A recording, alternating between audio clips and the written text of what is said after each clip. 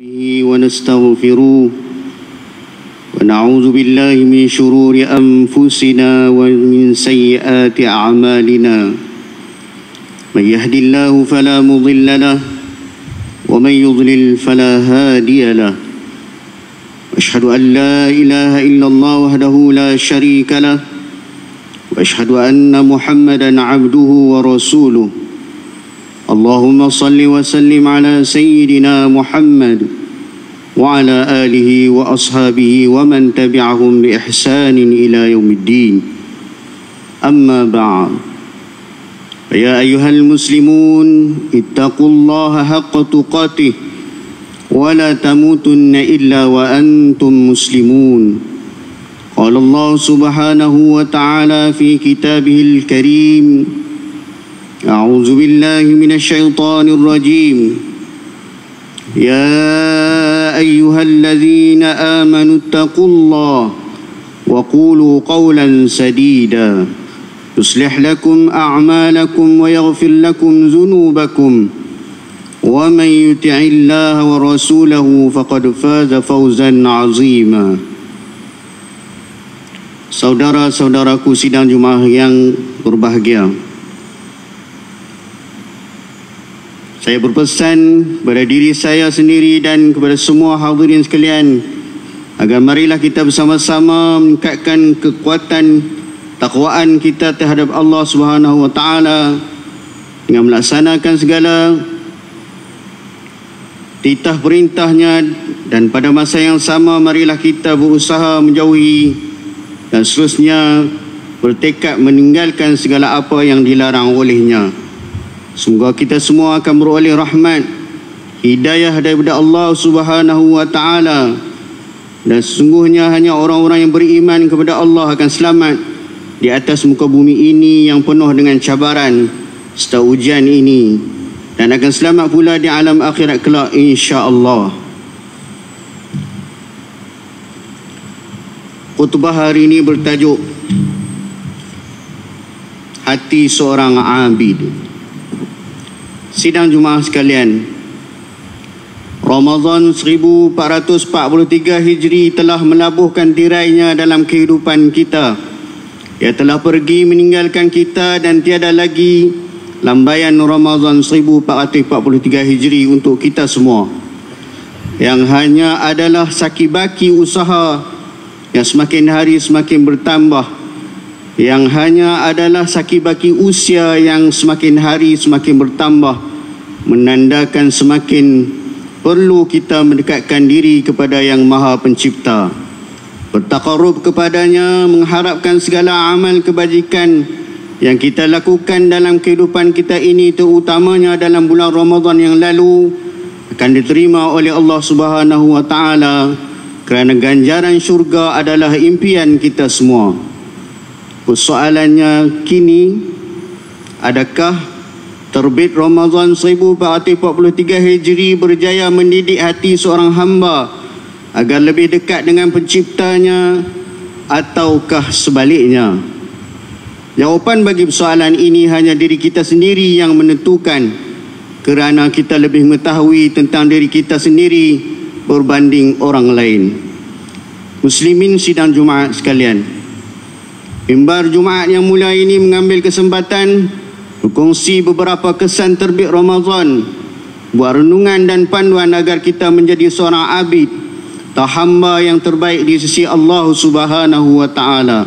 Yang pertama, hati seorang abid akan sentiasa takutkan kepada Allah serta tidak akan melayan tuntutan hawa nafsunya, tuntutan hawa nafsu kejahatannya. Sabda Sayyidina Ali radhiyallahu anhu menjelaskan bahawa seorang hamba yang bertakwa akan sentiasa takut terhadap Allah Subhanahu wa taala dalam apa jua keadaan serta suasana. Bahkan walaupun dalam keadaan bersendirian maupun bersama orang lain, ia pasti tidak akan melakukan perbuatan yang menyalahi serta mengundang kemurkaan Allah Subhanahu wa taala. Demikian juga apabila digoda untuk mengikut hawa nafsu syahwatnya. Seorang abid yang mempunyai perasaan takut terhadap Tuhannya pasti akan menjaga dan memelihara dirinya daripada terus tenggelam melayani tuntutan hawa nafsunya. Rasa takut kepada Allah Subhanahu taala menjadikan dirinya terasa malu untuk melakukan perbuatan yang bercanggah dengan agama kerana dia sedar dia sedang diperhatikan oleh Allah Subhanahu wa taala. Sebagaimana firman Allah Subhanahu wa taala di dalam surah Al-A'raf ayat 201. A'udzubillahi minasyaitonir rajim. Innal ladzina ittaqaw idza massahum ta'ifun minasyaitonir tazakkaru fa idahum mubsirun yang bermaksud sesungguhnya orang-orang yang bertakwa bila mereka ditimpa was-was dari syaitan mereka ingat kepada Allah maka ketika itu juga mereka melihat kesalahan-kesalahannya dan nampak akan jalan yang benar bagi golongan remaja yang sedang meningkat remaja mereka lebih mudah terjebak dengan pelbagai aktiviti yang boleh menjeratkan diri mereka dalam melakukan perkara yang tidak bertepatan dengan agama seperti aktiviti pergaulan antara lelaki dan perempuan tanpa batasan sehingga ada yang sanggup melakukan zina dan sebagainya tanpa segan silu apatah lagi tanpa rasa bersalah. Ingatlah bahawa baginda Rasulullah sallallahu alaihi wasallam pernah berpesan kepada pemuda dan juga pemudi di dalam hadis baginda. Ibn Abdullah ibn Mas'ud radhiyallahu anhu Rasulullah sallallahu alaihi wasallam bersabda Ya ma'asyara syabab Man istata'a minkum al-ba'ata falyatazawwaj fa innahu aghuddu lil basar lam yastati' fa alayhi bis sawm fa innahu lahu wija. Muttafaq alayh yang bermaksud wahai golongan pemuda Siapa yang berkemampuan untuk berkahwin maka berkahwinlah. Kerana sesungguhnya perkahwinan itu dapat menundukkan pandangan dan memelihara kemaluan kamu. Barang siapa yang tidak berkemampuan maka hendaklah ia berpuasa kerana puasa itu adalah benteng baginya daripada terus melakukan maksiat. Sidang muslim yang berbahagia. Yang kedua, hati seorang abid akan sentiasa mengingati kematian. Usia yang muda dan tubuh badan yang kuat bukanlah jaminan untuk kita mampu hidup sehingga mencapai usia tua. Ulama ada menyatakan bahawa manusia itu hanyalah kumpulan hari-hari. Ada manusia masih tidak sedar bahawa modal harinya semakin lama semakin berkurangan. Betapa hinanya seseorang itu apabila saat dijemput oleh Allah Subhanahu wa taala dalam keadaan sedang melakukan maksiat sehingga lupa tanggungjawab diri sebagai seorang hamba kepada Allah Subhanahu wa taala. Seorang abid iaitu hamba yang ingatkan akan kematian sudah pastinya akan melakukan ketaatan kepada Allah Subhanahu wa taala. Sebagaimana sabda baginda Rasulullah sallallahu alaihi wasallam di dalam hadisnya, "Aksaruhum lil maut" Aksaruhum lil maut zikran wa ahsanuhum lima ba'dahu isti'dadan ulaika kal akyas. Hadis rawahu Ibnu Majah. Yang bermaksud mereka yang paling banyak mengingati mati dan paling banyak amalannya untuk persiapan selepas mati itulah mereka yang paling sempurna akalnya mengingati mati bukanlah bermakna ingin menyegerakan kematian atau meninggalkan segala urusan dan tanggungjawabnya di dunia. Sebaliknya mengingati kematian itu akan mendorong seorang manusia menetapkan matlamat yang jelas hidupnya di dunia dan akhirat. Manusia sering mengingati mati menyedari Allah Subhanahu wa taala sentiasa mengawasi setiap tindakan yang dilakukannya. Yang ketiga, hati seorang abid akan sentiasa melazimi bacaan Al-Quran dalam kehidupan walaupun selepas Ramadan. Al-Quran telah menyediakan tawaran yang cukup hebat kepada manusia yang berusaha untuk berinteraksi dengannya. Pengakuan kebenaran Al-Quran sebagaimana mukjizat tidak cukup hanya di lidah saja. Sebaliknya perlu disusuli amalan berterusan. Malangnya masih dapat segelintir masyarakat pada hari ini yang membaca Al-Quran hanyalah berdasarkan keperluan dan kesempitan hidup seperti ketika sakit atau mengalami masalah kehidupan apabila dalam keadaan senang Al-Quran diabaikan sehingga tidak lagi menjadi sumber rujukan utama. Malah ada yang langsung tidak menyentuh maupun membaca Al-Quran. Jauh sekali memahami maknanya. Al-Quran adalah kalamullah yang menjadi mujizat diturunkan kepada baginda Rasulullah sallallahu alaihi wasallam.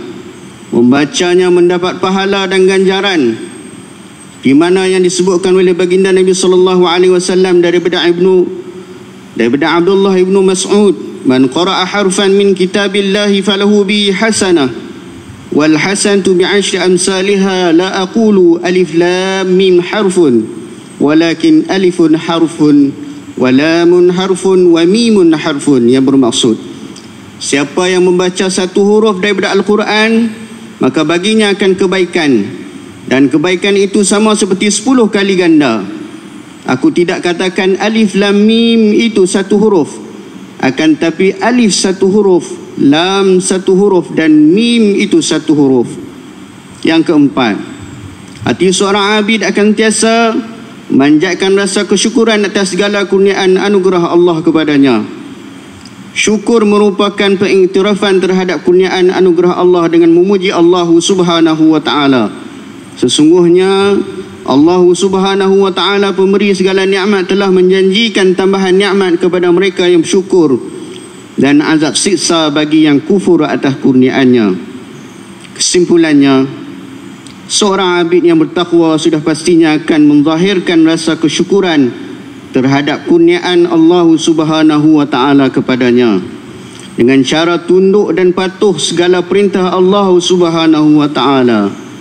أعوذ بالله من الشيطان الرجيم وسارعوا إلى مغفرة من ربكم وجنة عرضها السماوات والأرض أعدت للمتقين Maksud dan segera kamu mengerjakan amal yang baik untuk mendapat keampunan daripada Tuhan kamu dan mendapat syurga yang bidangnya seluas segala langit dan bumi yang disediakan bagi orang yang bertakwa. بارك الله لي ولكم في القرآن العظيم ونفعني وإياكم بما فيه من الآيات والذكر الحكيم وتقبل مني ومنكم تلاوته إنه هو السميع العليم.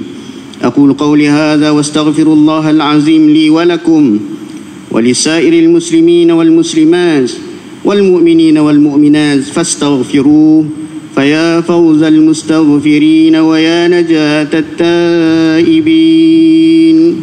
اللهم صل وسلم وزد وادم وأنعم وتفضل وبارك بجلالك وكمالك على زين عبادك وأشرف عبادك أبي القاسم. سيدنا ومولانا محمد وعلى آله وصحبه وسلم. رضي الله تبارك وتعالى عن كل الصحابة أجمعين. الحمد لله حمدا كثيرا كما أمر.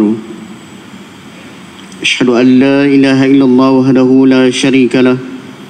أشهد أن سيدنا محمدا عبده ورسوله. اللهم صل وسلم على سيدنا محمد المنقذ من الضلالة والجهالة إلى نور الحق والإيمان والهدى. وعلى آله وأصحابه الذين هم قدوتنا ولهم الفضل على جميع الأمة إلى يوم القارعة. أما بعد فيا عباد الله فاني أوصيكم ونفسي بتقوى الله العلي العظيم. فاتقوه لعلكم تفلحون. اتقوا الله من سماع اللغو وفضول الخبر وانتهوا عما نهاكم عنه وزجر. وقال الله تعالى أعوذ بالله من الشيطان الرجيم. يا أيها الذين آمنوا اتقوا الله ولتنظر نفس ما قدمت لغد. واتقوا الله إن الله خبير بما تعملون. واعلموا أن الله أمركم بأمر عظيم. أمركم بالصلاة والسلام على نبيه الكريم فقال إن الله وملائكته يصلون على النبي. يا أيها الذين آمنوا صلوا عليه وسلموا تسليما. اللهم صل وسلم على سيدنا محمد وعلى آله وأصحابه أجمعين. رضى اللهم عن الخلفاء الراشدين ساداتنا أبي بكر وعمر عثمان وعلي وعن بقية الصحابة والقرابة والتابعين ومن تبعهم بإحسان إلى يوم الدين. اللهم اغفر للمسلمين والمسلمات والمؤمنين والمؤمنات الأحياء منهم والأموات إنك سميع قريب مجيب الدعوات يا قاضي الحاجات يا رب العالمين. اللهم اجعل هذا البلد امنا مطمئنا. اللهم أصلح أئمتنا وولاة أمورنا. واشمل اللهم بعنايتك وتوفيقك. جلالة الملك مولانا الأمين الكريم سلطان صالح الدين.